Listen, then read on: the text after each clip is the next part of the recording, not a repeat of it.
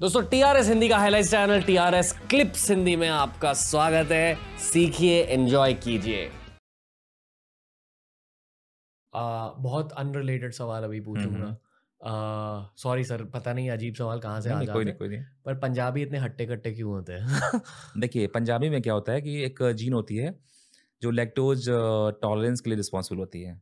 मतलब आप दूध ज़्यादा पी सकते हो। यस yes, आप इंडिया में क्या अफ्रीका में क्या है कि दूध वहाँ के लोगों अफ्रीकन्स दूध को का जो होता है ना शुगर लैक्टोज उसको डाइजेस्ट नहीं कर सकते हैं। African Africans. और इंडिया में जो नॉर्थ इंडियंस हैं उसमें दूध को डाइजेस्ट करने की जो कैपेसिटी है थोड़ा सा ज़्यादा होती है कंपेरेटिवली ज़्यादा होती है। वाह। ठीक है? तो एक रीज़न वो है वो ज़्यादा मिल्क पियेंगे कंज्यूम कर लेंगे। दूसरा रीज़न है सिलेक्शन जैसे कि कोई एक पॉपुलेशन है मान लीजिए सौ सौ लोग हैं। वो पॉपुलेशन हो गए एक लाख। ठीक है? पचास जनरेशन में। जी। अब उस एक लाख के लोगों में एक बीमारी आई डिप्थीरिया प्लेग हैजा उस एक लाख लोगों में से नब्बे लाख लोग नब्बे हज़ार नहीं रहे। अब जो दस बचेंगे वो काफ़ी स्ट्रांग होंगे ना? क्योंकि नाइन्टी जो वीक वाले हैं वो ख़त्म हो गए टेन थाउज़ेंड जो स्ट्रांगर है वो बच रहे। हैं तो वैसे ही पंजाबियों में भी सिलेक्शन हुआ है काफ़ी। कई लेवल तक का सिलेक्शन हुआ है। पॉपुलेशन बढ़ी फिर कम हुई फिर जो सर्वाइवल्स थे वो फिर से बढ़े ठीक है? इसीलिए उनका जो साइज़ है थोड़ा सा ज़्यादा होता है। पहला तो है लैक्टोज वो होते हैं टॉलरेंस और दूसरा होता है कि उनका मल सिलेक्शन हुआ है। तो उसकी वजह से वो लंबे हट्टे कट्टे चौड़े होते हैं। वेदर का भी रोल रहता है? वेदर का कोई रोल नहीं है। वेदर का कोई रोल कोई नहीं कोई रोल नहीं है। खाने का रोल रहता यस जैसे आप वो- वही ना आप देखिए साइबेरिया में या जो जो नॉर्वे है स्कैंडिनेवियन कंट्रीज़ हैं, वहाँ के लोग भी काफ़ी लंबे चौड़े होते हैं, क्योंकि वो इतना वहाँ पे वारफेयर हुए हैं पिछले तीन हज़ार सालों में कि जो कमज़ोर थे, जो सरवाइव नहीं कर पाए, वो मारे गए। जो स्ट्रांग थे, जो लड़, लड़ने में कामयाब है उनकी जो जेनेटिक जो लीनेज है, वो पास होती गई। तो उसी कारण सिलेक्शन हुआ। फिर डाइट का भी रोल होता है। अगर जहाँ पे खेती बाड़ी नहीं है, वो डिपेंडेंसी है मीट के ऊपर तो वो लोग डेफिनेटली स्ट्रांग होंगे। क्योंकि जो अ, हमने जो खाना जो अडॉप्ट किया है ये राइस दाल चावल ये तो sir recent phenomena five thousand years पहले हमने ये खाना शुरू किया। हम सब नॉनवेज खाते हाँ, थे। उसके पहले। उसके पहले पचास लाख साल तक फिफ्टी लाख ईयर्स तक जो है हमने क्या खाया है प्लांट बेस्ड प्रोडक्ट्स खाए हैं एंड मीट खाया है। सडनली हमने अपने डाइट को चेंज कर दिया। तो उसकी वजह से भी काफ़ी डाइवर्सिटी हुई काफ़ी बीमारियाँ आई। दूसरा है कि फाउंडर इफ़ेक्ट कुछ से पारसीज हैं। पारसी दो सौ है अभी पारसी पचास हज़ार के आसपास है। 2002 में एक लाख के आसपास थे।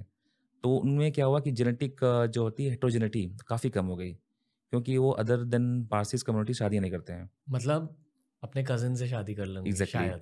तो वो एक ऐसी फिनोमेना है कि उसकी वजह से उसको बोलते हैं जेनेटिकली फाउंडर इफ़ेक्ट आप अपने जो जेनेटिक डाइवर्सिटी को कमज़ोर कर रहे हैं वीक कर रहे हैं उसकी वजह से क्या होता है कि रिसेसिव एलील्स होते हैं ना जीन के जो वीक वाले जीन्स होते हैं वो कॉम्बिनेशन में आने लगते हैं। वो डिफरेंट डिफरेंट तरह की बीमारियों को का, कारण बनते हैं। ठीक है? एक तरह से आप ये कह रहे हो कि अगर हम्म। आपको तगड़े बच्चे चाहिए तो जाके जापान में बीवी ढूंढ हाँ जापान यस ईस्ट एशिया या मैक्सि मैक्सिको चले जाइए। हाँ मैक्सिको या साउथ अमेरिका साउथ अमेरिका मतलब हाँ, भारत से अलग किसी जगह Yes, जाओ yes, वहाँ yes, बीवी. ढूंढो या हाँ। वहाँ पति ढूंढो। यस या आप वहाँ चले तिब्बत या हिमाचल में जो वहाँ पे जो पॉपुलेशन है। अच्छी बात तिब्बत है। बर्मन पर चाहिए तो भारतीय नारी आ, रही है। बिल्कुल बट ये काफ़ी इंडिया के लिए एक बहुत बड़ा risk risk and economical burden है आने वाले टाइम में। मतलब तो चालीस पचास साल बाद जो है जो जेनेटिक बेस्ड डिसऑर्डर्स होंगे इंडिया में वो अनकंट्रोल्ड होंगे। और ये बहुत बड़ा इकोनॉमिक चैलेंज आने वाला है। बहुत एक्सट्रीमली इकोनॉमिक चैलेंज क्योंकि हम तो डेटा दिखाते हैं हम तो पॉपुलेशन पे काम करते हैं। इतना ज़्यादा बर्डन आने वाला है कि आ, हमारा देश सक्षम नहीं होगा उसको मैनेज करने में। मतलब आप ये कह रहे हो हाँ। कि अक्सर भारतीय लोग हम्म। भारतीय लोगों से शादी करते हैं। नहीं अपने अपने क्लोज में जैसे आप एट जनरेशन पहले अगर वो आपके सिबलिंग्स रहे होंगे जी। आठ जनरेशन के बाद आपने उन्हीं के लीनेजेस से फिर शादी कर ली। तो मतलब मेरी बहन के पोते के पोते के पोते के पोते के पोते यस यस मेरी हाँ। पोती की पोती की पोती की पोती की पोती की यस से शादी करेंगे। हाँ। तो फिर वो जेनेटिक हेट्रोजेनिटी मेंटेन नहीं होगी। रिसेसिव एरिल्स का ज़्यादा एकुमुलेशन होगा। मतलब हमें ब्राजीलियंस और नहीं ब्राजीलियन नहीं बट आप रैंडम करो शादी। आपको कोई भी लड़की मिल जाए गुजराती हो पंजाबी हो हरियाणवी हो तो आप उससे करो। अपने जो होती है ना कास्ट होता है उसमें अपने गोत्र में हम्म, या उसमें शादियाँ नहीं करनी चाहिए। थोड़ी मुश्किल चीज़ है इसीलिए तो इसीलिए इंडिया की जो होती है जेनेटिक हिस्ट्री को समझ पाना बहुत मुश्किल है। मैंने बचपन हम्म। में डिस्कवरी चैनल पे एक हम्म। हैक सीखा था। हम्म, कहा जाता था कि अगर आप ये मैंने देखो ये मैं नहीं कह रहा हूँ ये हाँ। डिस्कवरी चैनल से मैंने सीखा था। हाँ। और मेरे सामने एक साइंटिस्ट बैठे हैं साइंटिस्ट आपको समझाएँगे। प्लीज़ समझा दीजिए मुझे हम्म। बचाइए जो मैं अभी कहने वाला हूँ इससे। तो कहा था कि अगर आप किसी को डेट कर रहे हो ठीक है? हम्म, और उनकी जो नेचुरल स्मेल है उनके बॉडी ओडर उनके बॉडी ओडर की वजह से जो इफ़ेक्ट आपके मन पर आता है। अगर किसी के पास जाकर लगता है कि यार बहुत बास आ है, ठीक है?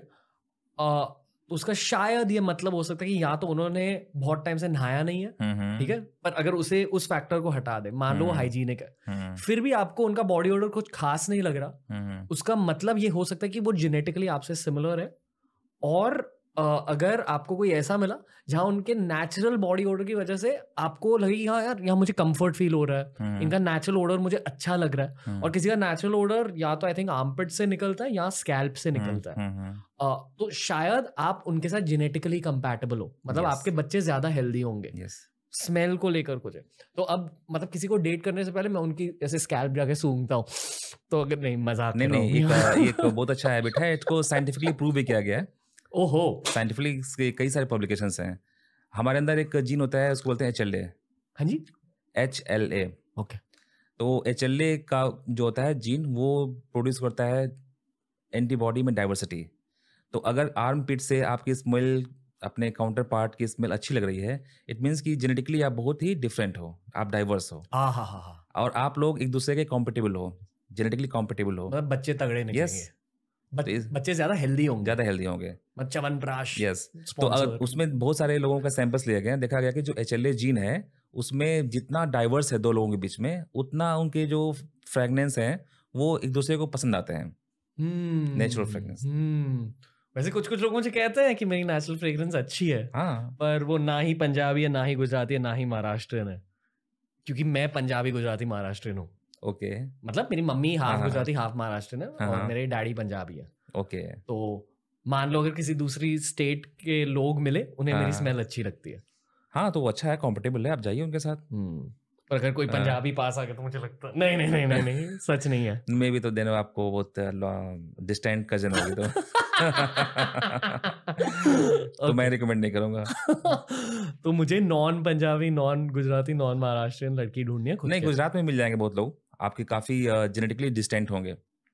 गुजरात में भी होंगे पंजाब में भी कैसे लोग होंगे जो आपके जेनेटिकली कम से कम सौ जनरेशन डिस्टेंट होंगे। ओके। तो मतलब आप सौ जनरेशन पहले मेरे पूर्वज और उनके पूर्वज कॉमन रहे होंगे। भाई बहन थे। यस कॉमन एंसेस्टर रहा होगा।